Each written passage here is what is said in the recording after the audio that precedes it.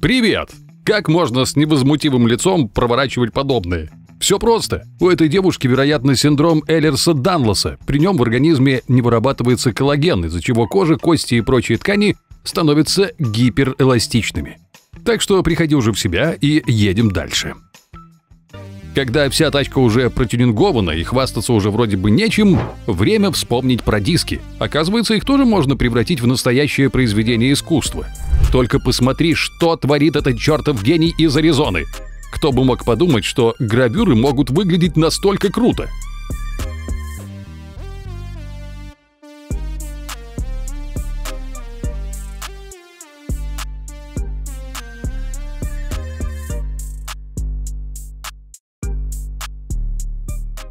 Вряд ли ты был бы рад встретить такого красавца во время дайвинга, правда? Что ж, можешь выдыхать спокойно, ты его и не встретишь. Эта рыба обитает на огромных глубинах от 500 до 800 метров.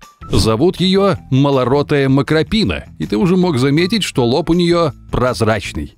Ученые предполагают, что эта особенность нужна рыбам для охоты. Дело в том, что глаза у макропины тоже непростые. Они могут перемещаться из вертикального положения в горизонтальное и наоборот – а значит рыба может заметить добычу, даже если плавает над или под ней. Видел когда-нибудь, как выглядит планировка дома от дизайнера? Не то чтобы очень впечатляющее. Другое дело, когда с помощью современного ПО можно взять и прогуляться по своей будущей квартире, хотя в ней еще даже ремонт не начинали.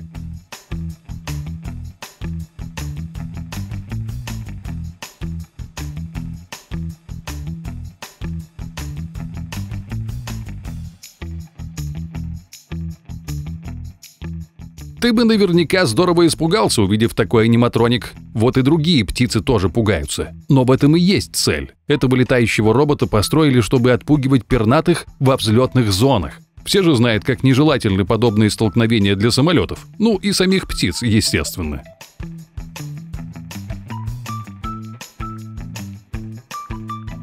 Ничего не напоминает?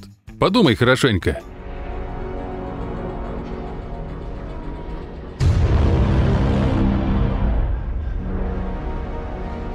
Перед тобой 3D-версия уникального здания Flatiron Building, расположенного на Манхэттене. Это, кстати, один из первых небоскребов во всем Нью-Йорке. Этот туалет, установленный высоко в горах Кавказа, местные называют вечным. Рискнул бы проверить, так ли это на самом деле.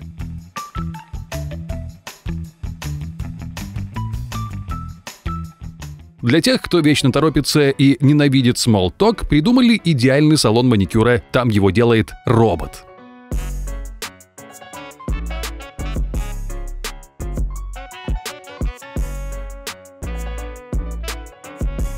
Вся процедура занимает в среднем 10 минут. И не стоит переживать, что лак попадет куда не надо. Перед покраской каждого ногтя машина тщательно сканирует поверхность, определяя площадь и толщину покрытия. А самое приятное – в таких салонах запись никогда не будет забита на месяц вперед.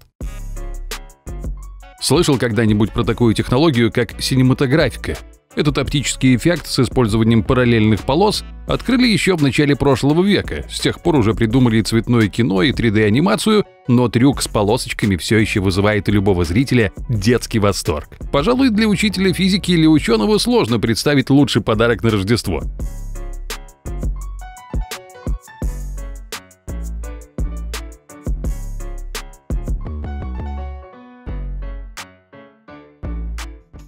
Если бы пассажиров «Титаника» эвакуировали так же круто, как работников нефтяных станций, может, окончание этой истории было бы совсем другим. Смотри, как все устроено. Сначала специальная конструкция с длинным рукавом спускается с платформы на воду, потом превращается в закрытую шлюпку, ну а затем, видимо, отправляется в свободное плавание до прибытия спасателей. Как насчет нового челленджа? Прийти на первое свидание с таким маникюром? Если когда-нибудь будешь погружаться в виртуальную реальность, убедись, что за тобой точно никто не наблюдает. Впрочем, этот процесс выглядит так кайфово, что не все ли равно, кто там о чем подумает. Если не хочешь, чтобы в твою квартиру вдруг ворвались Алисия Сьерра с крошечной булавкой, рекомендуем установить на двери вот такие замки. Они срабатывают только при считывании отпечатков пальцев владельца. А еще такой замок можно просто разблокировать смартфоном, но есть подозрение, что профессора и команду даже такое бы не остановило. Внимание! Сейчас ты увидишь самый хардкорный педикюр в жизни. А для начала посмотри, что может произойти с копытами мула, если за ними не ухаживать. Стоит ли говорить, что в таком запущенном случае животное не то, что не может нормально бегать. Даже ходить ему и то дается с трудом. Поэтому не остается ничего иного, как вооружиться специальными инструментами и чистить копыта вот таким жестким способом. А чтобы до такого не доводить, мулов, как и лошадей, рекомендуют долго не держать в стойле, обязательно подковывать и регулярно показывать специалистам. Кстати, про физику. Знаешь, на что способен вот такой пит-регулятор, сделанный своими руками? Кладешь на него железный шарик, и платформа сама не дает ему упасть на стол. Чтобы такую смастерить, придется не только покопаться в деталях, но еще и написать специальный программный код – но все это, конечно, не только ради небольшого эксперимента с шариком. Эту технологию можно использовать в множестве отраслей. Например, взять миниатюру гоночной тачки из Формулы-1 и управлять ее виртуальным прототипом из видеоигры.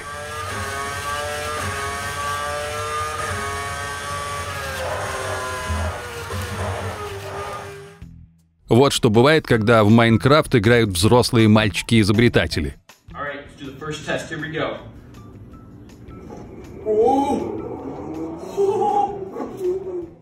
Важное замечание. Свинья не только максимально похожа на героиню игры, так еще и ведет себя точно так же.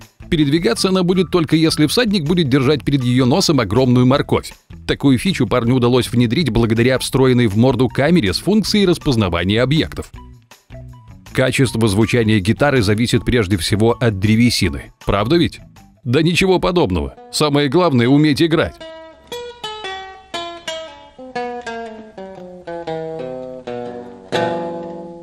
А из чего сделана дека – дело десятое, и так говорят многие знатоки. Вот изобретатель Франсуа Баше решил вообще не париться и придумать надувную гитару, которая в руках профессионала звучит просто отлично.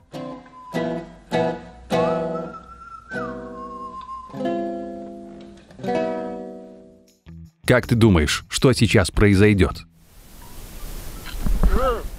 Серьезный вред это существо вряд ли причинит, а вот напугать может жестко. Это, кстати, гигантская тридакна, один из самых больших моллюсков на Земле, который еще и умеет откладывать не имеющий никакой ценности жемчуг. Забавный факт. Поджечь бутылку с водой или картонный стаканчик с помощью лазера сложнее, чем алюминиевую банку. Все потому, что металл лучше поглощает энергию.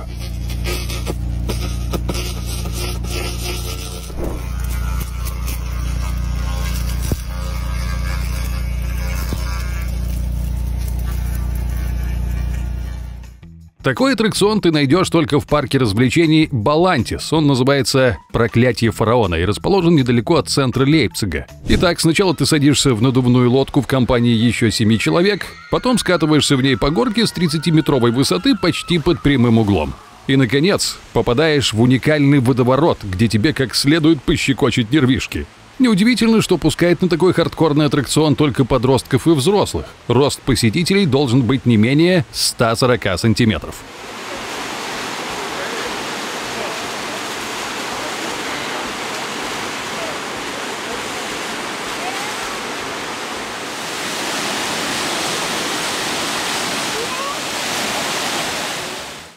Оказывается, у голландцев свое понимание прыжков с шестом. Там есть такой вид спорта – Поль Стокфер Спринхен. Он появился еще в 18 веке и жив до сих пор. Суть в том, чтобы преодолеть с помощью шеста максимальное расстояние, но сначала взбираясь по нему и лишь потом отталкиваясь для прыжка.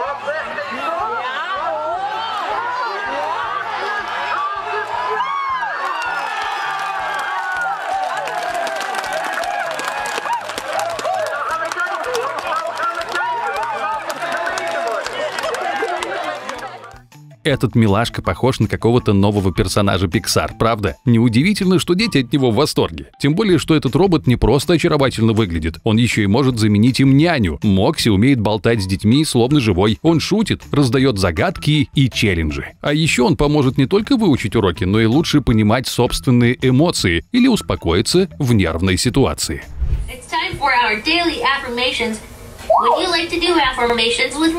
Yes! Okay, okay. I'm excited. It's a bright new day.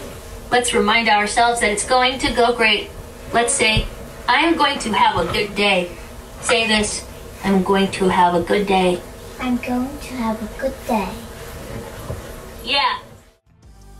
А ты тоже не ходишь в библиотеку, потому что боишься строгих бабушек-администраторов? Вот в Китае таких проблем нет. Там можно просто положить прочитанную книгу на ленту, и роботы сами вернут ее на нужную полку в зале. Кажется, эти чуваки снова оказались в 2050-м.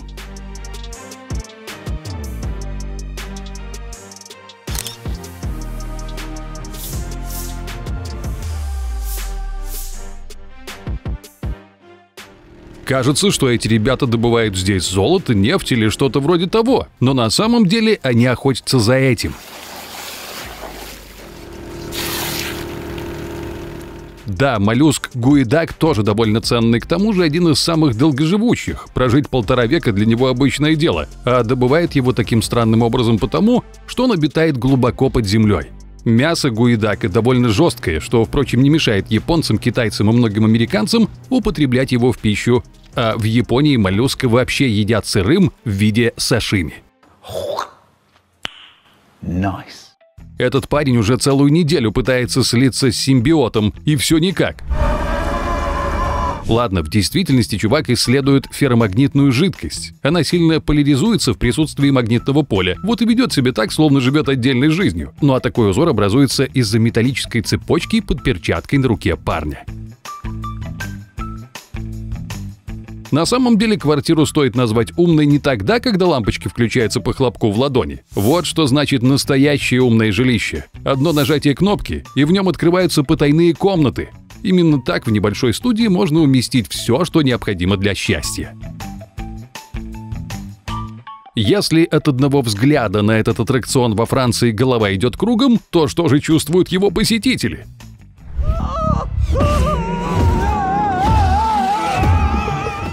Можно было бы подумать, что это просто Веном решил провести пару деньков на райском курорте и кое-что оставил после себя. Но на самом деле в руке этого парня обычный морской огурец.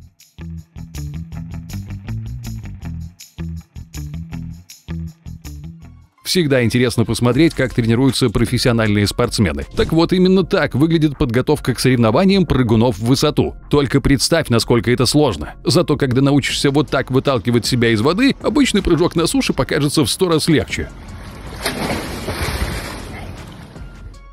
Странно, но эту разновидность бильярда придумали не где-нибудь в Южной Америке. Ведь это именно там, ребят, хлебом не корми, дай поиграть в футбол.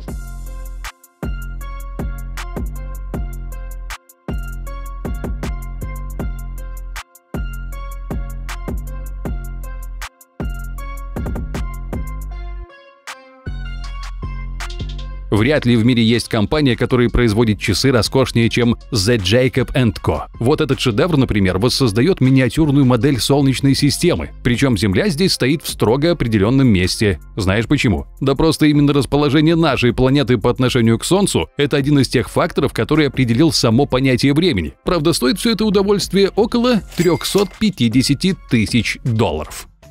Представь себе ситуацию. Сидишь ты вечерком дома и спокойно чилишь, как вдруг какой-то великан выламывает дверь и смотрит на тебя, издавая громкие крики. Вот примерно так чувствовал себя этот паук.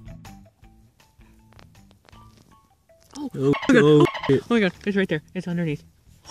Но, к слову, цель у этих ребят была благородная. Видео сняли биологи из Австралии, и на нем им впервые удалось запечатлеть уникальный вид подземного паука из семейства ктинизидовых. И, честно, мы и раньше немного опасались ехать в Австралию, а теперь и подавно. I can't see. Is it there? No, he's going back. He went back down, but he's still huge. I can still see him very well. Sweet. He was like, I'm gonna climb under there. It's really good. You can really Finger for size reference. Oh, he went down. He's gone. He's gone. И напоследок мы тебе пожелаем лишь одного – быть по жизни таким же оригинальным, как эта лодка в парке Лос-Анджелеса. На сегодня все, приятель. Ставь лайк и не прощаемся надолго. Следующий ролик уже скоро.